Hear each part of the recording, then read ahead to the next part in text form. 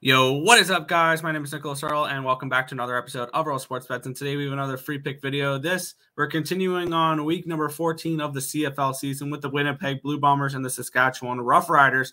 The Bombers are eight and a half point favorites in this game with a total of 47 and a half.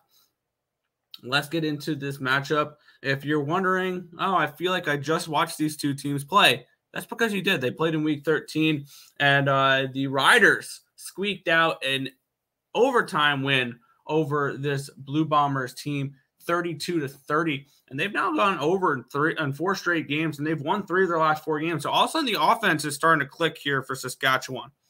Uh, and on the flip side, here we have Winnipeg coming in. They've really struggled as of late. They have gone over in four of their last five games, uh, but they they are uh, five and one in their last six games, but they're only two and four so this is a team that's winning but not covering. Now, with that being said, this is a, a short-term revenge game. These two teams just played each other, and I think that's going to come in big in this one here, especially motivation for the Winnipeg Blue Bombers. They're not going to overlook the Saskatchewan Roughriders team, a team that they've actually had some really, really good success against as of late. They're now eight and two in their last ten games against them. They that that win by Saskatchewan snapped an eight-game winning streak for the Blue Bombers against the Roughriders. I think they get right back on the winning streak here in this one. I like the Bombers to win this game. I like the Bombers to win this one by double digits. I like the Bombers first half, full game, team total over type of thing here.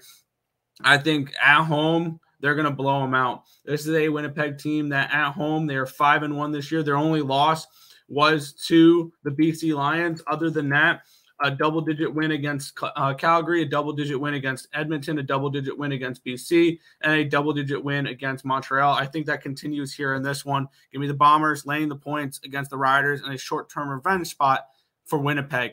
If this information information was helpful to you guys at all, feel free to hit that thumbs up button and subscribe to the channel if you guys have not already. And turn on those post notifications so you guys are notified each and every time we come out with a video here at Earle Sports Bets or we go live, which is every single morning, anywhere between 10 and 11 a.m. Eastern Standard Time for the Earle Sports Bet Show. That's going to just about do it for this one. I want to thank you guys as always for watching. Good luck.